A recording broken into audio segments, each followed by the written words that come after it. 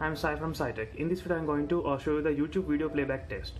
So here you can see the model version MI Max 3 and uh, let me open the YouTube and let me play a video that is of uh, 3 hours but I will play only for 1 hour. Uh, set to the 480p not the 720p because my Wi-Fi is too slow. So I'm gonna play this video for 1 hour and check how much the battery will be uh, dropped and I set to the volume to the 50% as you can see right now. Let me show you the brightness as well. How much is the brightness right now?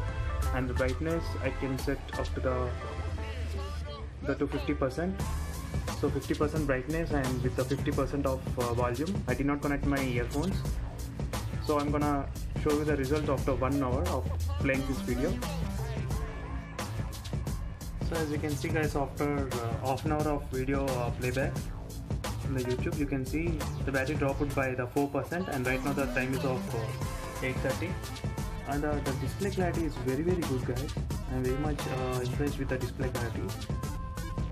Because of the display 6.9 inch that is pretty much uh, likely to watch in this big screen with a less weight the phone. So let me uh, show you the video after the one hour of YouTube test.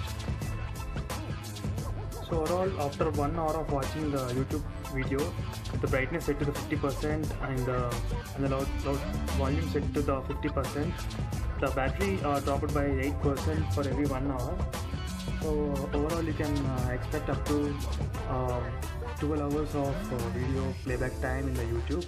So these with a 50% of uh, battery and the volume so when you play the videos with a less brightness that 20% and connecting the headphones then you might get uh, more hours. That means like 15 to 20 hours of uh, YouTube playback is possible with this MM Max 3 so in the future I'll be uh, posting even that video of continuous YouTube playback as well. So thank you guys for watching. Hope you like the video. Subscribe to my channel. See you in the next video guys. If you have any doubts regarding this phone just comment in the description I'll reply to you guys see you in the next video. Bye